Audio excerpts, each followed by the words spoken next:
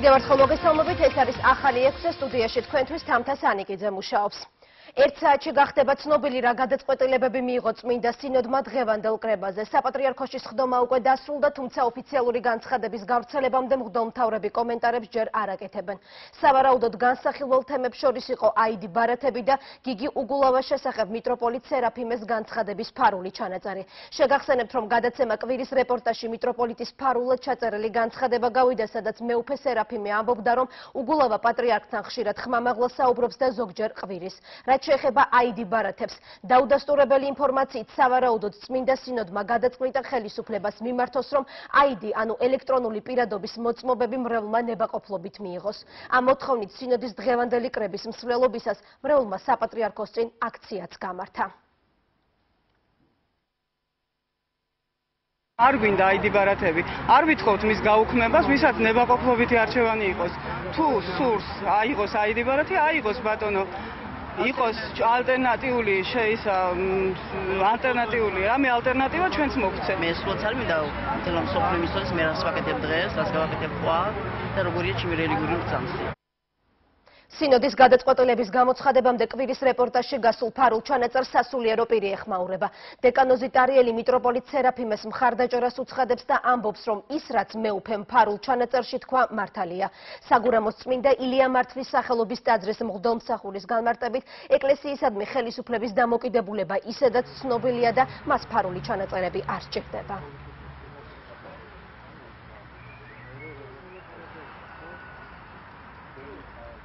ძალიან კარგად ჩანს ყველანაირი ფარული ჩაწერის გარეშე დამოკიდებულება სახელმწიფოს დამოკიდებულება ეკლესიასთან.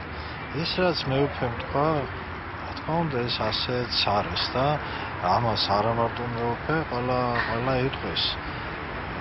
ესაც აქვს ამ ესე ასე თქვა გამოსდება რა თვალი ჭირდება და გული ჭირდება რომ ეს თქვა ასე თუმცა ამ ინტერვიუს შემდეგ თბილისის მერმა მეუქე სერაფიმე დაადანაშაულა ცილის წამებაში და ათქვა რომ ეს ყველა ესეც რა ახლა მერიც დაადანაშაულებს და პრეზიდენტის და ყველა რა თქმა უნდა არავის არ აწყობს ესეთი რომ ღიად ხალხმა იცოდეს მაგრამ ახლა ხალხი ბრმა არ არის და ძალიან კარგად ხედავენ პრეზიდენტის დამოკიდებულებასაც ეკლესიის მიმართ თუ პატრიარქის მიმართ და ყველას დამოკიდებულებას ახლა ამას რა რატო უნდა დაადანაშაულო ჩანს ისედაც ყველაფერი. პატრიარქი რო შეთი ცხოველში იქნება და პრეზიდენტი იქ ხალხს მიიყვანს და რაღაცა მიტინგს მოაწყობს შიგ ტაძარში რა თუნდა ახლა ამას ფარული ჩანაწერი აშკარად ჩანს ყველაფერი დამოკიდებულება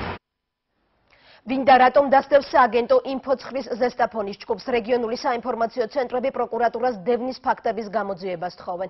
შიდა ქართლის კახეთის აჭარა სამეგრელო ზემოსვანეთისა და მცხეთა-მთიანეთის საინფორმაციო ცენტრები რეაგირებისკენ მოუწოდებენ სახალხო დამცველსა და არასამთავრობო ორგანიზაციებსაც. დაუშვებელია ადამიანის დევნა აზრის გამო. სისხლის სამართლის კოდექსით ჟურნალისტის საქმიანობაში ხელი შეშლა დასჯადი ქმედება. ნათქვამია საინფორმაციო ცენტრების განცხადებაში. ამ განცხადების გავრცელების პარალ პარალელურად ცნობილი ხდება, რომ დევნის ფაქტებით უკვე დაინტერესდა სახალხო დამცველი. შეგახსენებთ, რომ დაუდგენელ ადამიანთა შვიდკაციანი ჯგუფი ინფოცხრის ზესტაფონის გადამღებ ჯგუფს ერთი კვირაა კამერებითა და მიკროფონებით დასდევს და პროვოკაციულ შეკითხვებს უსვამს. სააგენტო ჟურნალისტებს ფსიქოლოგიური ზეწოლის ფონზე უწევთ მუშაობა.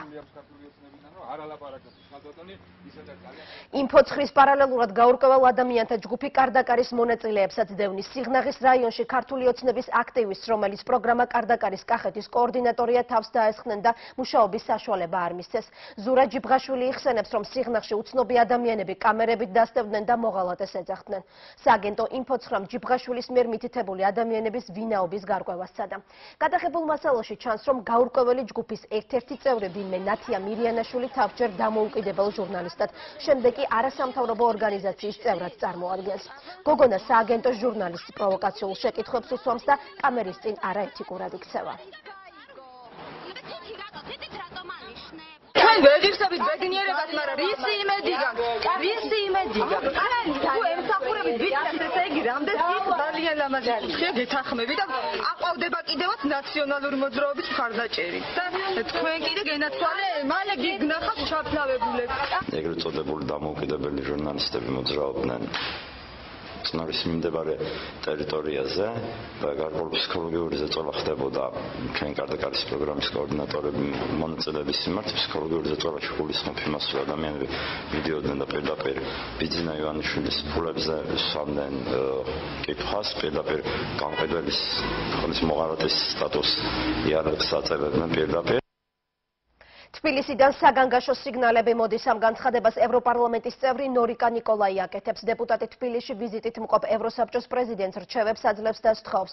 საქართველოს მთავრობისგან ცარიელი სიტყვების მოსმენის ნაცვლად მას რეალური ქმედების განხორციელება მოსთხოვოს ნორიკა ასევე ჰერმან ვან რომპეის მიმართავს და სთხოვს. ღია დისკუსია გამართოს იმ შეშფოთების შესახებ რასაც საქართველოში არსებული წინა საარჩევნო გარემო იწვევს რუმინელი ნორიკა ნიკოლაი ევროპარლამენტში ლიბერალ დემოკრატების ალიანსის წევრია ნაწყვეტი მისი განცხადებიდან.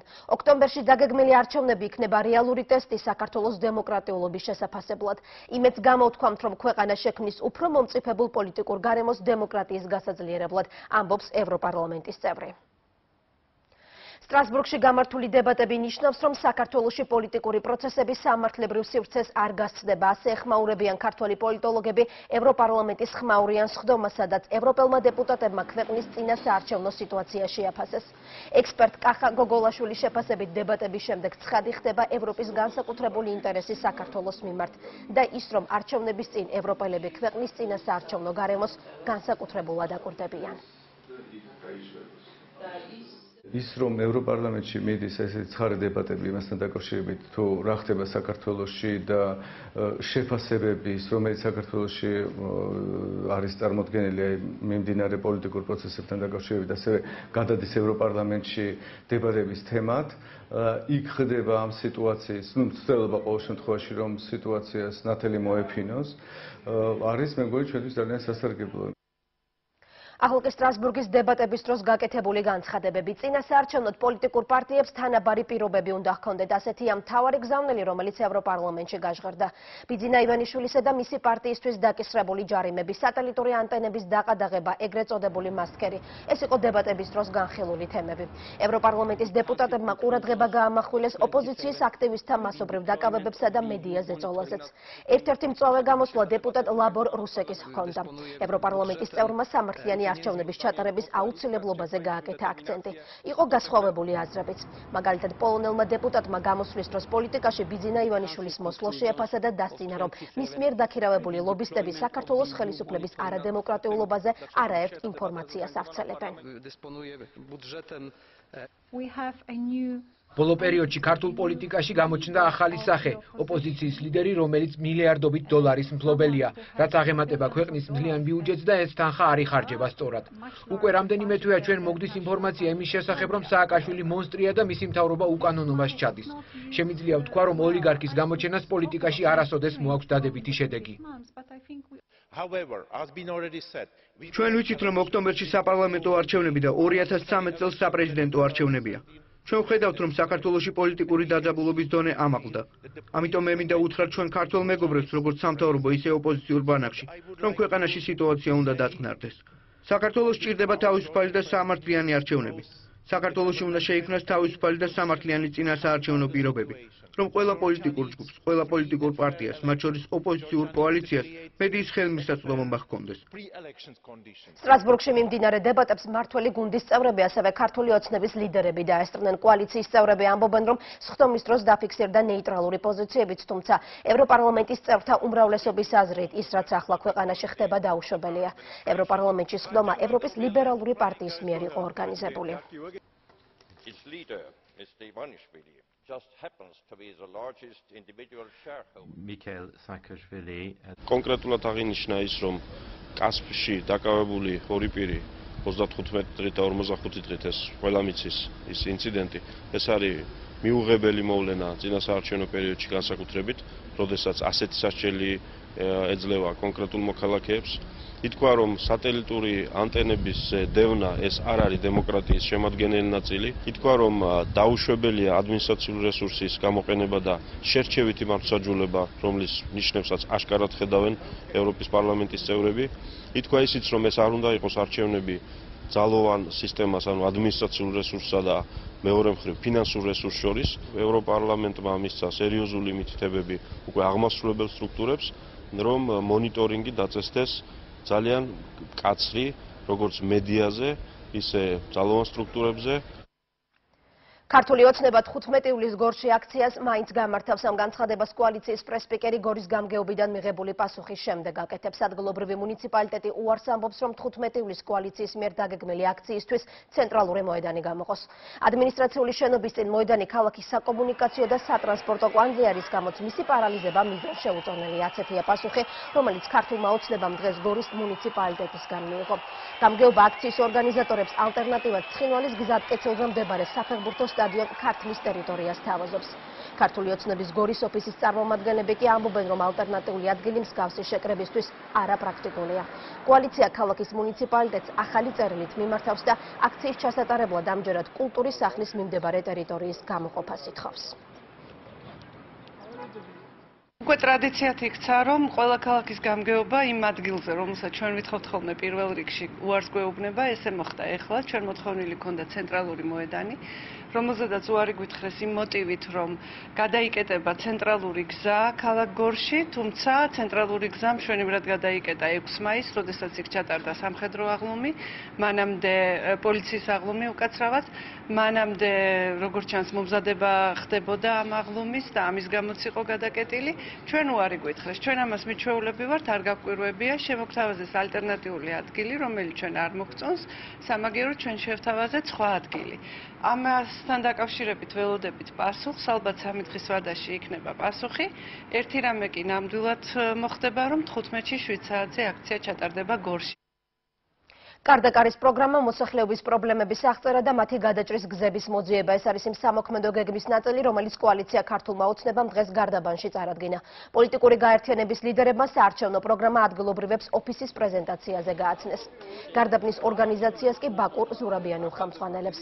ამ შეხვედრაზე აღენიშნა, რომ გარდაბნელებს ძირითადად სარწყავი და სასმელი წყლის, ასევე საძოვრების პრობლემა აწუხებთ. ჩვენ აზერბაიჯანული სოფლების პრობლემები ძალიან გვაინტერესებს, გვაინტერესებს ამ პრობლემების გადაჭრის გზები და ქვემო ქართლში მე პოლიტიკური კოალიციის და ბატონო ბიძინა ივანიშვილის მიერ მაგ დავალება სწორედ რომ ეს პრობლემების პასპორტიზაცია გავაკეთოთ. ჯერ კარდაკარის პრობლემები არ აქვს გადაწყვეტილი და კარდაკარი გვაქვს ჩასატარებელი. აუცილებლად დაი ხვალიდან, ზეგიდან უკვე დავიწყებთ ამ კარდაკარის ხალხის მომზადებას. შინაგან საქმეთა სამინისტროში საკადრო ცვლილებები გრძელდება და თახალაიასა და შოთა უტიაშვილის შემდეგ თანამდებობას ამირან მესხელი ტოვებს. ვანო მერაბიშვილის უკვე ყოფილი მოადგილე დასაქმების სამინისტროში მიდის და მინისტრის მოადგილის პოსტს დაიკავებს. კულუარული ინფორმაციით ბაჩუ ახალაიას უწყებაში თანამდებობას მერაბიშვილის ვერცერთი კადრი ვერ შეინარჩუნებს. ჯერ ისევ უცნობია დატოვებენ თუ არა თანამდებობებს სპეციალური ოპერატიული დეპარტამენტის ხელმძღვანელი დევი ჭელიძე, ასევე საპატრულო პოლიციის ხელმძღვანელები, რომლებიც მერაბიშვილთან დაახლოებულ პირებად მიიჩნევიან.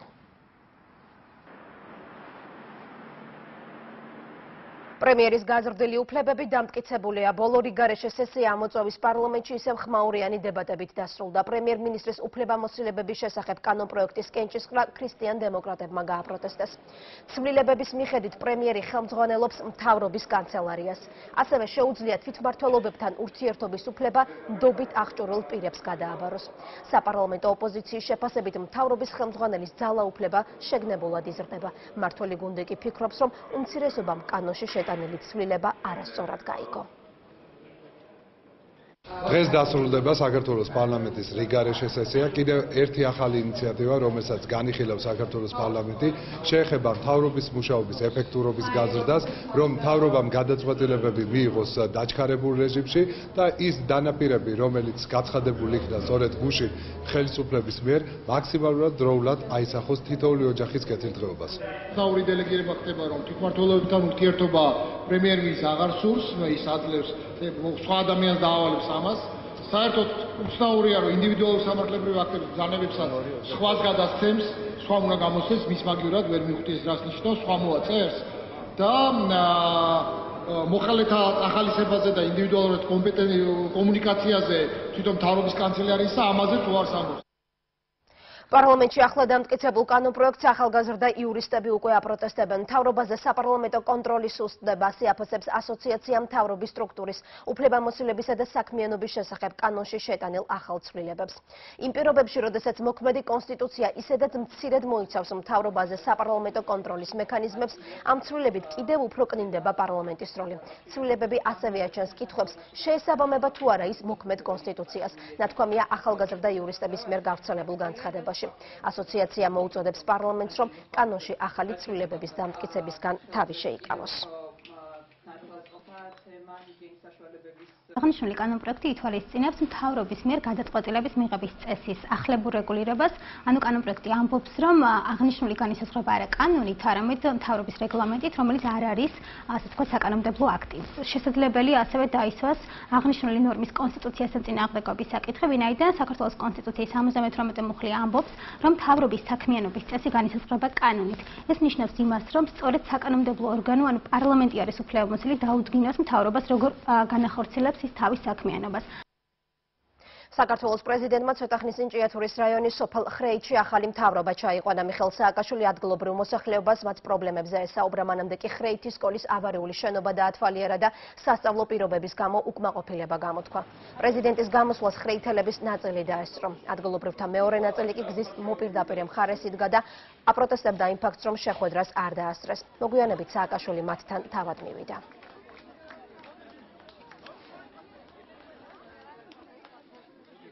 დღეს არის მინდა გითხრათ საქართველოს თავრობის ახალი შემადგენლობის პირველი სამუშაო დღე. და ამიტომ რო უბრალოდ კაბინეტებში არ შეხვედროდნენ ამ დღეს, დილიდან გამოვყარეთ აქეთ, მე დავანომ ყველა ახალი შემადგენლობა, ახალი სახეებიც არის. აა რამდენიმე ახალი დანიშნები იმისათვის, რომ უბრალოდ ანგარიშები კი არ ენახათ. ციფრები ან თუნდაც საერთაშორისო ორგანიზაციის ცაში ჩვენ ვავყავართ ისეთ შეფასებები. ენახათ რეალობა მათ შორის არსებული წარე რეალობა რომელიც არის საქართველოს ბევრ ადგილზე ჯერ კიდევ. გავაკეთოთ ისეთი რამე რომელიც იქნება ხელშესახები პირდაპირ შევა თითოეული ქართველი ოჯახში. და ჩვენ გვაქვს სამი პრიორიტეტი. რა თქმა უნდა ეს არის უმუშევრობის წინააღმდეგ ბრძოლა ეს არის ხელმისაწვდომი ჯანდაცვა ყველასათვის და ეს არის სოფლის მეურნეობის განვითარება. ჩვენ ვითხოვთ გზა, უპირველეს ყოვლისა გზა არ გივარგა და მე ურნალობის ამბავი გვაინტერესებს კიდე ძალიან. ხალი ყველა უბანში, ყველა ოჯახში, მას მოვიყვანთო სკოლას ავარემონტებთო და ახლა ეს დროებით ახლა ერთი სტაშის დაკვით არა შენდება სოფელი. ქლორით მოწამლული ხუთი ადამიანი მკურნალობას ისევ განაგზობს, მათ შორის ერთი ფეხმძიმეა. ექიმები პაციენტების მდგომარეობას დამაკმაყოფილებლად აფასებენ, თუმცა ამ დრომდე მძიმეა 18 წლის ლაშა ნარიმანიძის ჯანმრთელობა, რომელიც კვლავ რეანიმაციაში რჩება. ლილოში ქლორის აუზის ქლორის ავზის სამი ივლის მწყობრიდან გამოვიდა და 75 ადამიანი მოწამლა. ბოლო მონაცემები დაზარალებულების შესახებ ნახეთ ჩვენს რეპორტაჟში. კახეთის გზატკეცილზე, სადაც ორი დღის წინ ერთ-ერთი საწარმოდან ქლორმაგაჟონა აირისუნი ისე ვიგრძნობა. შპს კრისტალში ორი დღის განმავლობაში ხელმძღვანელობიდან არავინ გამოჩენილა. ადგილზე მხოლოდ დარაჯია. არავინ არ არის ხოლმე. მე აქ მოხდა შემთხვევა. არა. აბა საათ. კაი, ჩაშუ. ეგრეთ წოდებული საქნავთის დასახლების მცხოვრებლები ინტოქსიკაციის გამო საავადმყოფოებს ისევ მიმართავენ. მათი უმრავლესობა თვალების წვისა და თავბრუსხვევის გამო თავს ისევ ცუდად გრძნობს, თუმცა ყველაზე მეტად მათ მოსალოდნელი შედეგები აწუხებთ. აი ხლა თროს მდგობ დღეში მეჩინია მაგალითად არ მოიჭაბლოებში. ამოხდით. მოვაში. დღეს კი შეიძლება არაფერი მოქმედებს, მაგრამ ხვალ და ხვალზე ვით რა მოხდება ორგანიზმში ვინაუთ. თვითონ ხეებსაც ნახეთ რა დაემართათ შეხედეთ რა დღესია. ძალიან დაიწვა ყველაფერი და ნუ მომავალში კიდე რა გამოგვაჩნდება არავინ არ ვიცით რითა ვართ დაზღვეულები თბილისის საავადმყოფოებში ამჟამად ქლორით მოწამლული ხუთი პაციენტი რჩება. მათ შორის სამი ბავშვია. ექიმების შეფასებით მოწამლულების მდგომარეობა საშუალო სიმძიმისაა. საჭიროების შემთხვევაში თუ ისინი ჩათვლიან, შეამჩნევენ რაიმე უმნიშვნელო ჩივილებსაც კი ეთაბურცხვევა იქნება, ეცხებინება იქნება, ხველა თუ ასე შემდეგ სხვა რაიმე ჩივილი შეუძლიათ მიმართონ კლინიკებს. ექიმები ყველაზე კრიტიკულად 18 წლის ლაშა ნარიმანძის მდგომარეობას აფასებენ. ნარიმანძე საუნივერსიტეტო კლინიკის რეანიმაციულ განყოფილებაში რჩება, მის მდგომარეობას ქრონიკული ასთმა ართულებს. პაციენტები იყვნენ საშუალო და მსუბუქი სიმძიმის.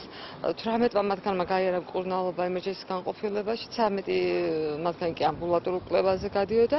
ამჟამად სტაციონარში რჩება მხოლოდ ერთი პაციენტი რეანიმაციულ განყოფილებაში 18 წლის ახალგაზრდა კრიტიკული მდგომარეობით ეგრეთ წოდებულ საქნავთის დასახლებაში შემთხვევა ორი დღის წინ მოხდა. შპს კრისტალის ტერიტორიაზე ავზიდან დიდი რაოდენობით ქლორმაგაჟონა. შემთხვევის გამო სამართალდამცავებმა კრისტალის დირექტორი ლევან დათუაშვილი დააკავეს.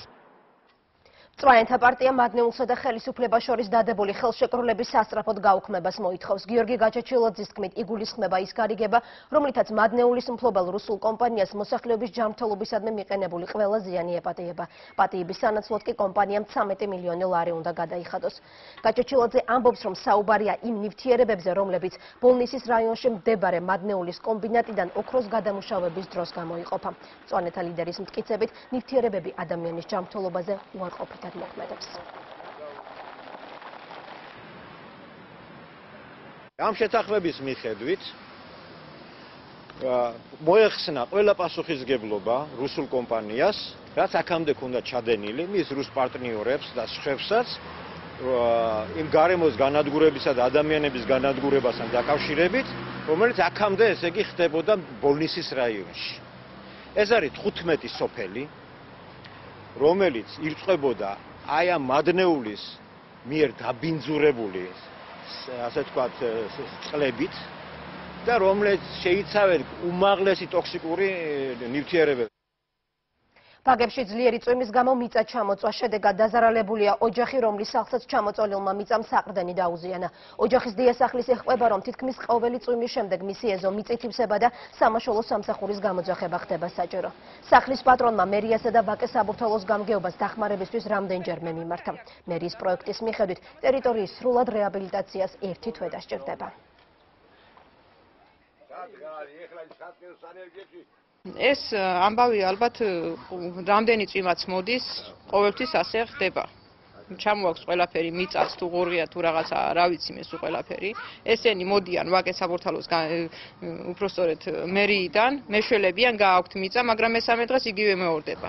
ძლიერი წვიმის შედეგად მოხდა მანდ მეწყერი ჩამოწვა აღნიშნული მისამართზე დღეის მდგომარეობით მიმდინარეობს საყრდენი კედლის მოწყობა მთის შესაკავებლად მეორე ეტაპი არის ამ მოქალაქე თევდორაშვილის საცხოვრებელ ეზოში უკვე კიდევ დამატებით საფტენიკელის მოწყობა ეს არის ახალი ექვსე განვაგრძობთ გამოშვება სოზურგეთის რაიონის სოფელ ბოზუარის მოსახლეობა ადგილობრივ ხელისუფლებას ზეწოლაში ადანაშაულებს. სოფლის მცხოვრებლები ამბობენ, რომ მუნიციპალიტეტი გლობალ ტივის აბონენტებს ცალკე აღრიცხავს ქართული ოცნების აქციაზე წასვლის შემთხვევაში კი მათ სოციალური დახმარებების მოხსნით ემუქრება. მოსახლეობის მტკიცებით მათ დაშინება სოფლის რწმუნებული ზურა კილაძე თავად ცდილობს. თავად კილაძე ამ თემაზე არ საუბრობს მისი ერთ-ერთი თანაშემწე დაშინების მცდელობის შესახებ ინფორმაციას უარყოფს. ყველა ოჯახს ათვალიერებდა ვის ეყენა მაგათი დაყენებული ანტენა და ვის არ ეყენა და რო იკითხეს ხალხმა რომ რატო დადის ეს კაილა რატო ათვალიერებსო ვინმე სოციალური აქტო რამე აქ დახმარება ყველაფერსო გუუქმებთო მე არ ვიცი ასეთი ინფორმაცია რომ ჩამოიარა აქედან ვინმე მომდევნო ჩაირთოს ბათუმის საკაბელო ქსელებში მაესტრო მეცხრე არხი და კავკასია მოთხოვნით კოალიცია ქართული ოცნების ბათუმის ახალგაზრდულმა ორგანიზაციამ ხელმოწერების შეგროვება დაასრულა. მოთხოვნა სულ 1000-მდე აბონენტი აწერს ხელს. ადგილობრივი უმსხვილესი საკაბელო კომპანია ერას მფლობელი ამბობს, რომ კანონით დავალდებულების მიუხედავად მის კომპანიას არ აქვს ტექნიკური შესაძლებლობა, რომ საკუთარ ქსელში მეცხრე არხი ან მაესტრო ჩართოს. დღეს კოალიცია ქართული ოცნების ახალგაზრდა ორგანიზაციამ დავასრულეთ ხელმოწერების შეგროვება სამოქალაქო ინიციატივაზე, რასაც რაც გულისხმობს ბათუმის აბონენტების მიერ.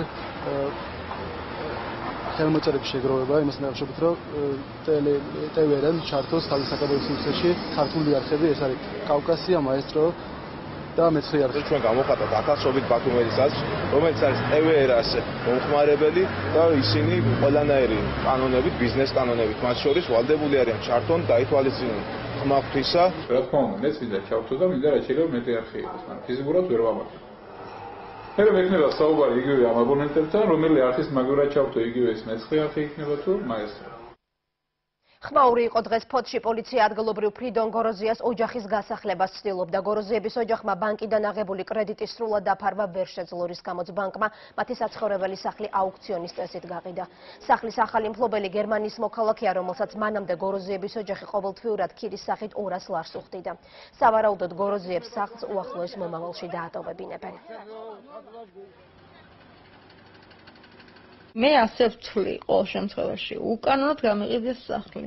გრაფიკი უნდა გაეკეთებიათ. დაკვირდნენ ის სხვა სახლზე იყო ეს სესხი. მინდა ბილბა გააკეთენ, გავაკეთეთ, ვიარეთ, თბილისში ოფისში ვიყავით და ზუსტად სათავო ოფისში ვიყავით და გითხრან რამდენი იქნებოდა გასახდელი. ნაწერიც მაქვს ხელნაწერი. ამდენს გადაიხდით. всё დაბრა იყო ყველაფერი, მოგვარებული იყო სიტუაცია. ეუბნება ეს ამანტროფი ქალი, ნუ შეეხებით ჩემს სახში სხვა არ ხარო, მეზობელი ხარო.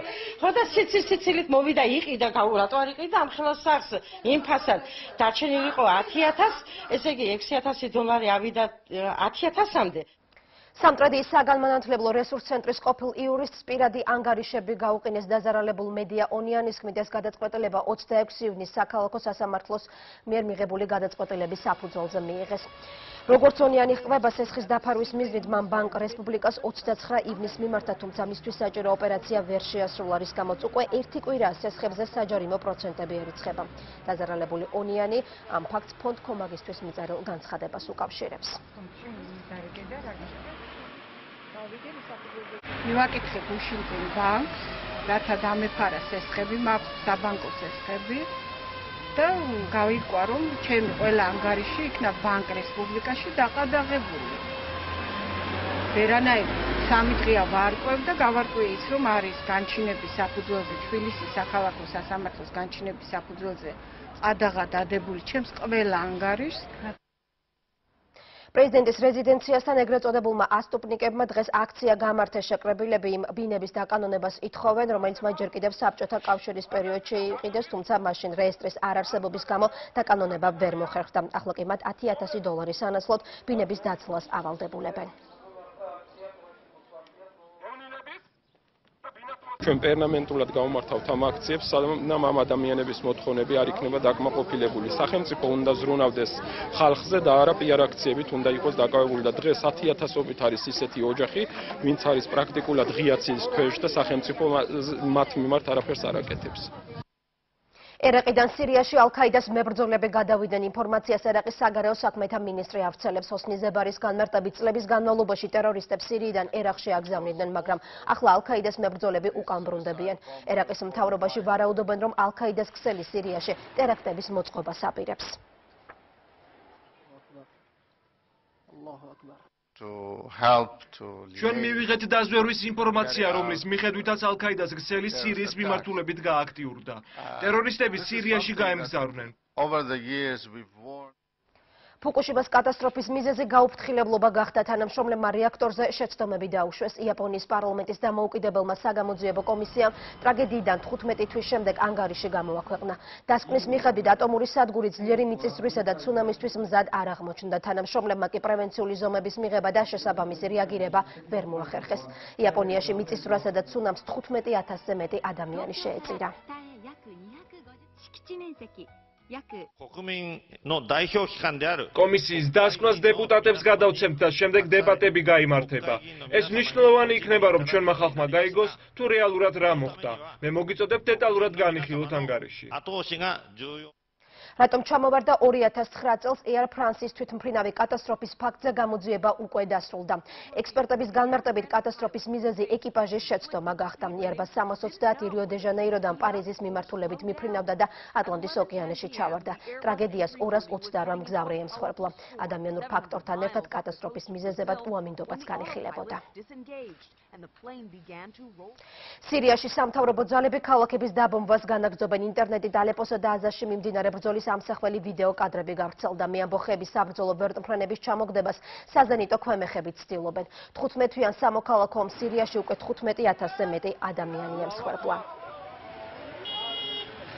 რუმინეთის რამდენიმე რეგიონში ჰაერის ტემპერატურამ 40 გრადუს გადააჭარბა. ძლიერი სიცხის გამო ბოლო 24 საათში 3000-ზე მეტ ადამიანს სამედიცინო დახმარება დასჭირდა. ტემპერატურის მატების გამო რამდენიმე ადამიანს ქუჩაში გულის შეტევა დაემართა. ახლა ბუქარესტში ჰაერის ტემპერატურა 38 გრადუსია. სიცხის გამო შეფერხებით მუშაობს რკინიგზა მატარებლის შემადგენლობა ნელა გადაადგილდება, რადგან ტემპერატურამ რელსების გადახურება გამოიწვია. და გამოშვების ბოლოს დავით ალადაშვილის კონცერტი კულტურისა და ძეგლთა დაცვის სამინისტროში ქართულმა პიანისტმა ჯულიარ დისკოლის წარმატებულმა მოსწავლემ დღეს სოლო კონცერტი გამართა. ეს კონცერტი სამინისტროს იმ პროექტის ფარგლებში გამართა, რომელიც რეგიონების სხვადასხვა მუსიკალურ სასწავლებელში კლასიკური მუსიკის პოპულარიზაციას ემსახურება. დავით ალადაშვილმა დღევანდელ კონცერტამდე საქართველოს თითქმის ყველა რეგიონი მოიარა და იქ მასტერკლასები ჩაატარა, გამართა რამდენიმე კონცერტიც. დღევანდელი ღონისძიებით კი პროექტის პირველი ნაწილი დასრულდა. კონცერტის შემდეგ პროექტში მონაწილე ყველა პიანის სიგელები დაურიგეს.